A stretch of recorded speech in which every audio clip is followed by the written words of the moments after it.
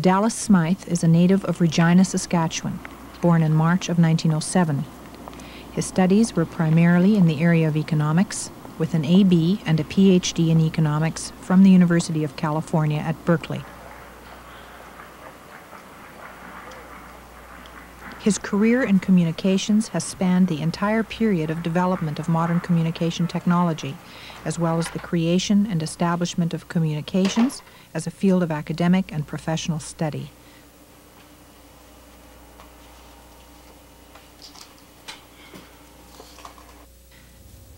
Some highlights of his early career. My work as chief economist at the FCC was to bring to bear social science knowledge on the practical problems which the FCC faced. For example, should there be more rural telephone service, the number of farms with phones had been declining, and what should be done about it? We weren't therefore dealing with any abstract uh, notion of technology, but a very concrete problem. So I came to define technology in those terms, as an assembly of people and things to get something done. Uh, the uh, Greeks had a better word for it. They called it the industrial arts. Uh, in fact, technology, as we use the term today, is another uh, name for modern industrialism.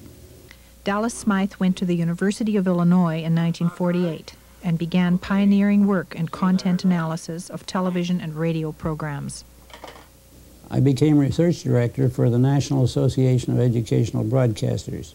In 1950, the FCC was holding allocation hearings to determine the use of the UHF part of the spectrum.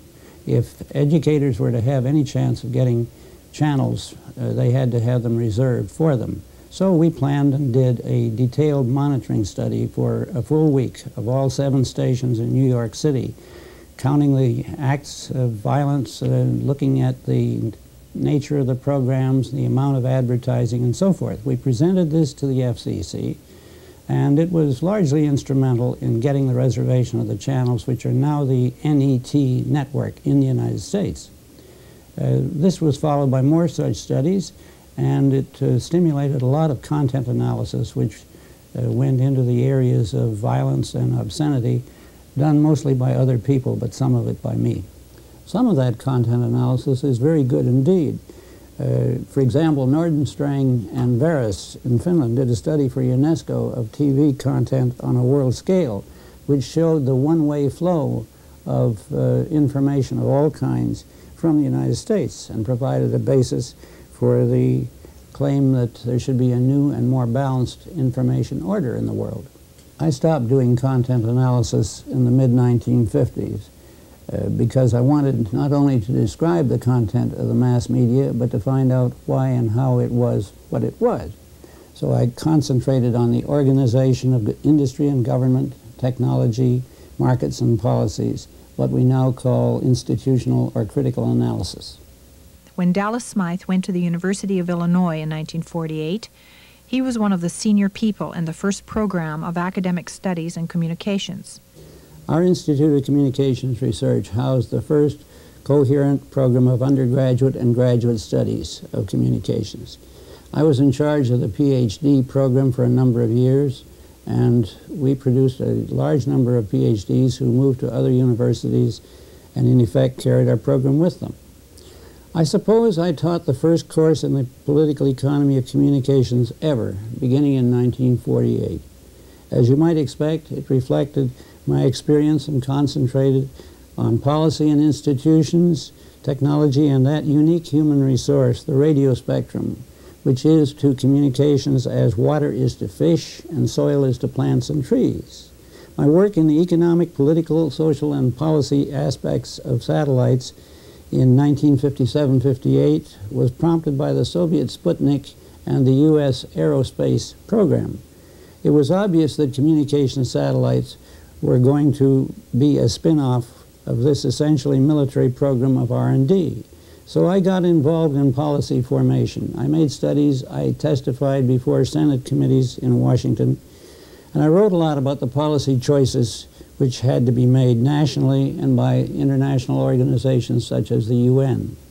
In 1963, Dallas Smythe returned to Canada to the University of Saskatchewan Regina campus as chairman of the Division of the Social Sciences. He served as advisor to the new Federal Department of Communications and did a study for Eric Kierans' Telecommission.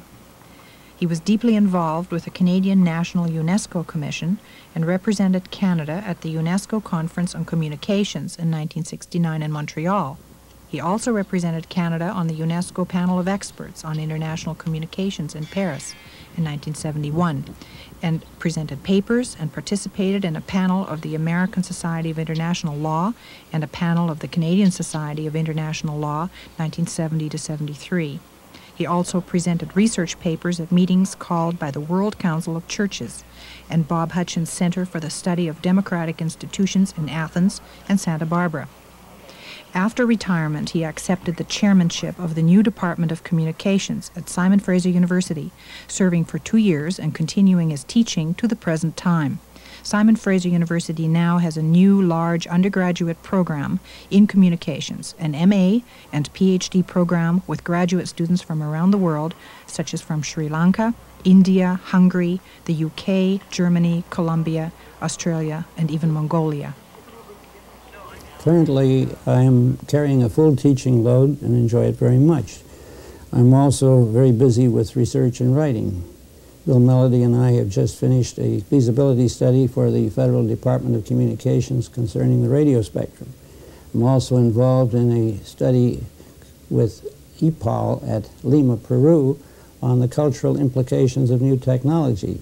And I just returned from London where I attended a meeting of an advisory committee to the World Association of Christian Churches, which is an offshoot of the World Council of Churches, on uh, the uh, relation of communications to development.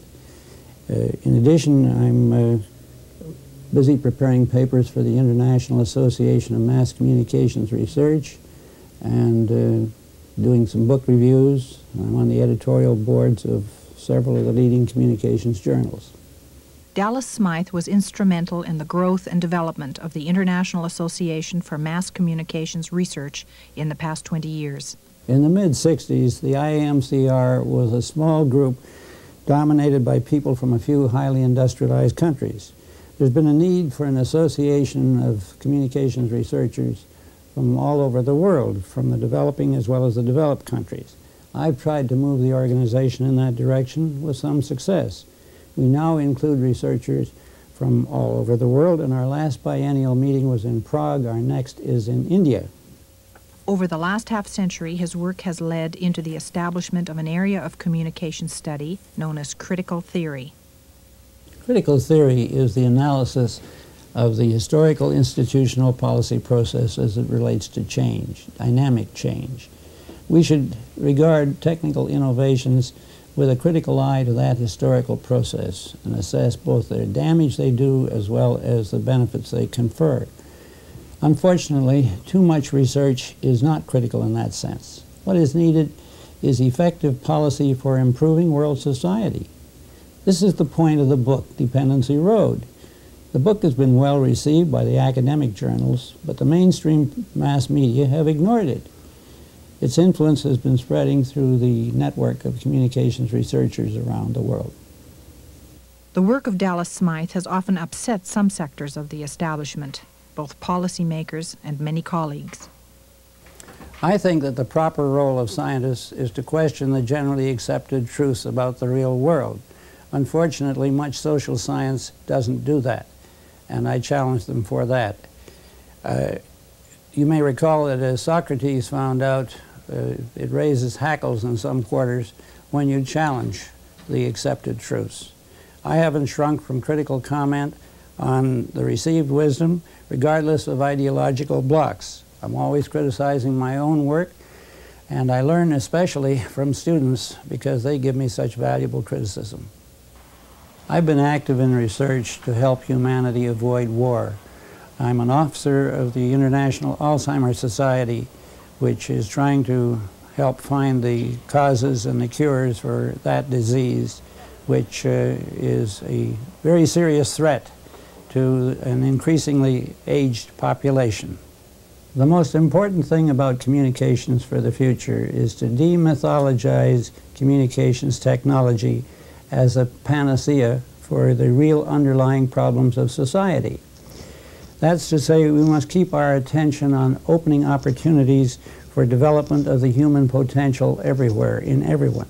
If we don't do this, the new technologies will divide us and divert energies from the very real problems which these technologies enlarge in very dangerous ways.